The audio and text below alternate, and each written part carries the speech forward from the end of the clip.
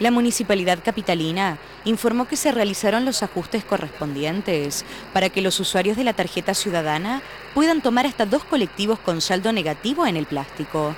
Cabe recordar que el precio del boleto urbano se actualizó en febrero y pasó de 4 pesos con 83 a 6 pesos con 95.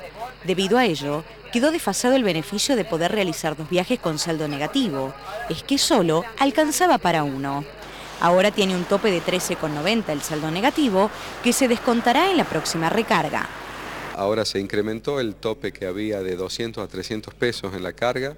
También tiene dos, viajes negativos que se llama que aún a pesar de no tener crédito por una necesidad concreta, uno puede acceder a, ese beneficio y después en la próxima carga obviamente está el descuento eh, correspondiente. Además, el secretario de Gobierno, Walter Berarducci, explicó que se busca ampliar el beneficio para los usuarios de la tarjeta ciudadana.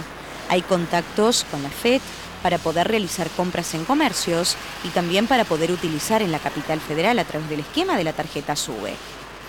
También se lo quiere, se está trabajando a los fines de ser un medio de pago la tarjeta ciudadana en el taxi, en el futuro estacionamiento pago, es decir, diferentes eh, alternativas y medios que se está trabajando a través de la municipalidad para que tarjeta ciudadana sea un, monedero virtual, que es lo que está ocurriendo en otras ciudades. Seguramente también el señor Intendente esta semana que está en Buenos Aires se reúne con eh, autoridades del Ministerio de Transporte porque quieren hacerla compatible con los otros sistemas que hay en el país, sobre todo el más conocido, sube a los fines de que también un tucumano que en su momento se desplace a, a Capital Federal o a Provincia de Buenos Aires puede usar su tarjeta ciudadana en los servicios públicos de ese sector.